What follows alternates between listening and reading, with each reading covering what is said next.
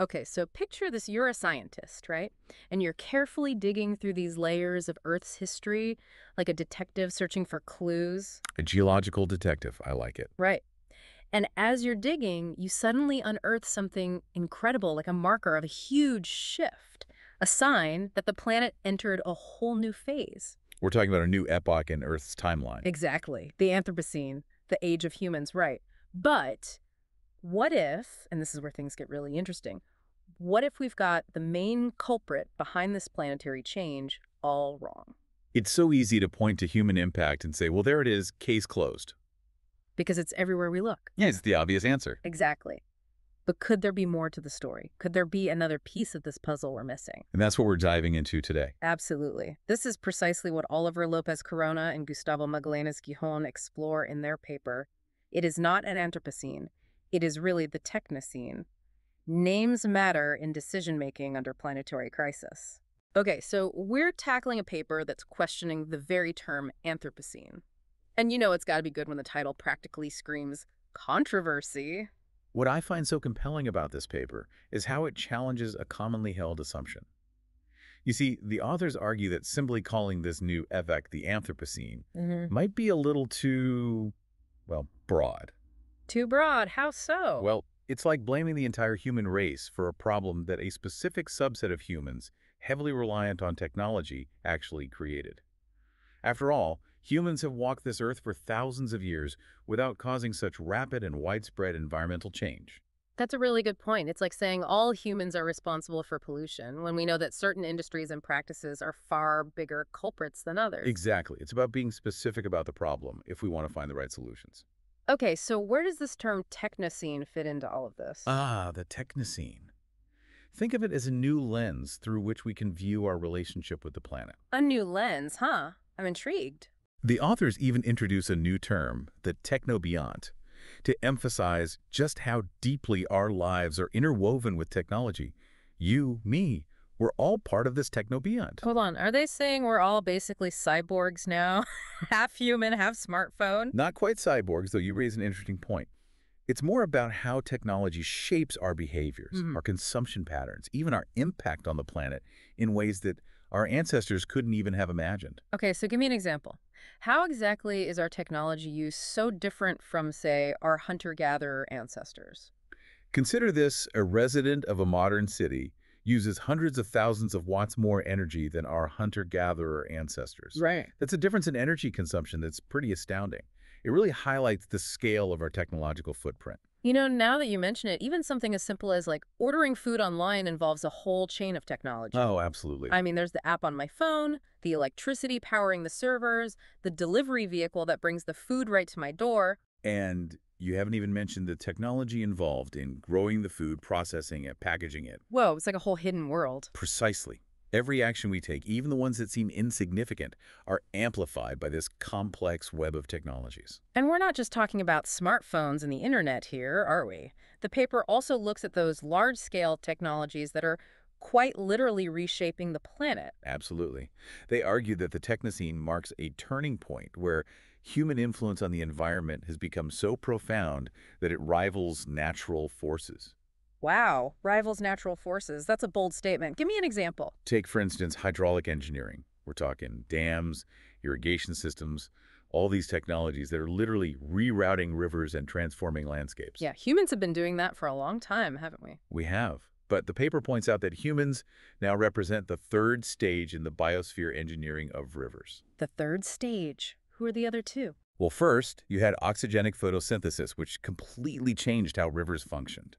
Then came the development of vascular plants, which again transformed river systems. And now it's us. Exactly. We're up there with the forces that shaped life as we know it. Wow. I mean, those other two examples, those were pretty big deals for the planet. So to say that we're at that level now, that's that's something. It really is. And while those technologies have been around for a while, the scale and intensity of our impact have increased dramatically in recent decades. So it's not just about using tools, but the types of tools and the sheer magnitude at which we're wielding them. Right. That's what sets the Technocene apart. You've hit the nail on the head. We've gone from diverting small streams to damming mighty rivers, Hmm. from clearing patches of land to transforming entire ecosystems. So it's not about demonizing technology altogether. I mean, let's be real, we're not all going back to living in caves anytime soon. Definitely not. But it's about recognizing that our technologies, as amazing as they can be, also have profound and often unintended consequences. Precisely. The authors aren't advocating for a complete rejection of technology. Instead, it's about approaching technology with a bit more, shall we say, caution. Okay, caution. I like it. So, recognizing the Technocene isn't about placing blame, but understanding the true forces at play behind our current planetary situation. Exactly. So, if we're going to talk about approaching technology with caution, what does that actually look like in practice? Give me some concrete examples. Well, the authors suggest applying what's known as the precautionary principle. the precautionary principle. Now you've got my attention. Tell me more. So, the precautionary principle, break that down for me. What is it and how does it play into this whole Technocene idea? Well, at its core, the precautionary principle basically says that we should be really cautious when we're dealing with technologies that could have widespread, like irreversible consequences, especially when we don't fully understand the risks involved. So, it's kind of like if you're not sure if something's safe to eat, you probably wouldn't just eat a whole plate of it, right? You might want to be a little cautious, see what happens. Precisely.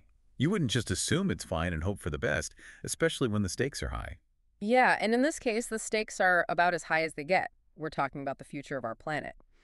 And speaking of high stakes technologies, the paper brought up geoengineering. Ah, yes, geoengineering, a prime example of the Technocene dilemma playing out in real time. It feels like we're entering the realm of science fiction here. A little bit, right. We're talking about deliberately manipulating Earth's systems on a massive scale to try to counteract climate change. Give me an example. What kind of manipulation are we talking about? I mean, some people have proposed things like launching giant mirrors into space to reflect sunlight or capturing carbon dioxide directly from the atmosphere. Whoa. Okay, I see what you mean about the science fiction vibes. These are huge undertakings with potentially huge consequences that we can't fully predict. It's like we're talking about giving the Earth a giant dose of some experimental medicine without really understanding the long-term side effects. Right. And the Earth's climate is so complex, so interconnected. Who knows what those side effects might be? It's a bit scary when you put it like that. The thing is, we could end up throwing off natural weather patterns, ocean currents, disrupting entire ecosystems, and we might not even realize it until it's too late. So are we just trading one set of problems for another, maybe even a riskier set of problems? That's the million dollar question, isn't it? Like that old saying, just because we can doesn't mean we should. Words to live by, for sure. Okay, but before we spiral into an existential crisis about geoengineering, Right. the paper also talked about how even technologies that seem pretty mundane, pretty harmless, can end up having a huge planetary impact. Like CFCs, for oh, example. Oh, CFCs, yeah. Those are a classic example of that. Those were in like aerosol sprays and refrigerators, right? Exactly. And when they were first introduced, they seemed pretty harmless. Who knew hairspray could be so destructive? Right. But it turned out that CFCs were quietly wreaking havoc on the ozone layer. And the ozone layer is what protects us from all that harmful radiation from the sun. Exactly. It took years of research and a global effort to phase CFCs out and try to repair the damage. It's a good reminder that even technologies that seem small, insignificant, can have these ripple effects across the entire planet. Absolutely. We tend to get so caught up in the immediate benefits of a new technology that we don't always stop to think about the long-term consequences. And it's not just about chemicals either, right? Right. We were talking about hydraulic engineering earlier, dams, irrigation. Absolutely. Those large-scale technologies that are physically reshaping the planet. And while those technologies have been around for centuries, the paper pointed out that the sheer scale and intensity of our dams and irrigation systems today, it's just unprecedented. It really is. We're talking about altering the course of nature. And I think that's where the Technocene concept comes in, right? Exactly. It's not just that we're using tools, it's how we're using them, Yeah. the scale at which we're impacting the planet, and recognizing that is crucial. Absolutely. It's about recognizing the magnitude of our impact, both positive and negative, and Mhm. taking responsibility for it. Okay, so we've talked about these large scale examples like geoengineering and hydraulic engineering, but Mm. I want to bring this back down to earth a bit, so to speak. Okay. What does it actually mean to be a technobiont in today's world? What does that look like in our everyday lives? That's a great question.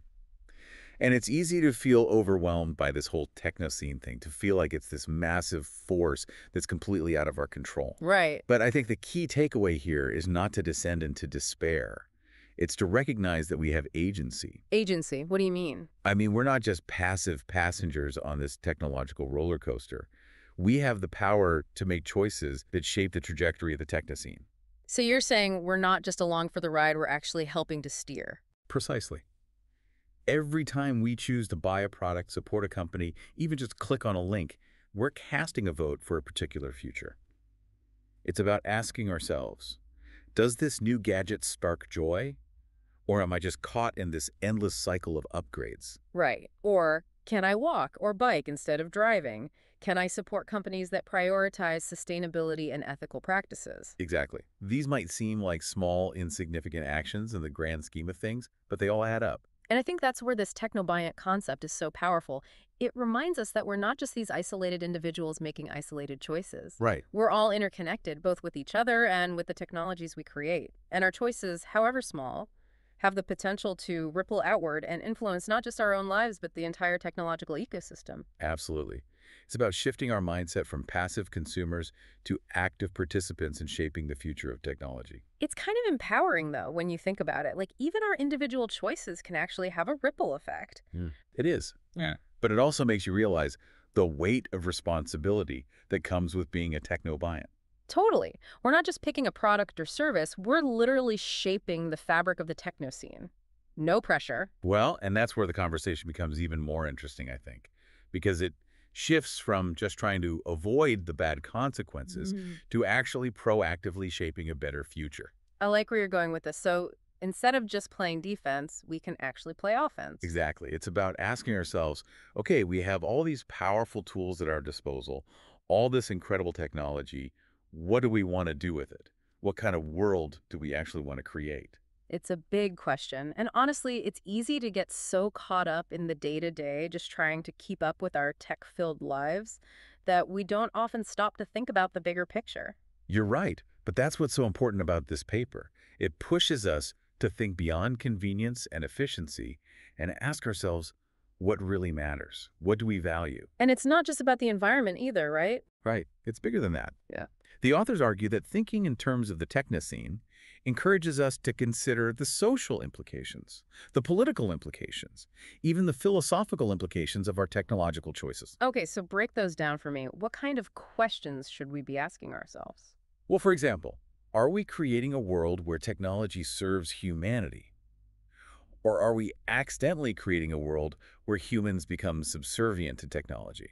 Now, those are some deep questions. That's getting into some pretty profound territory. It is. It's about recognizing the power of the tools we're creating. It really makes you wonder, are we the ones in control here?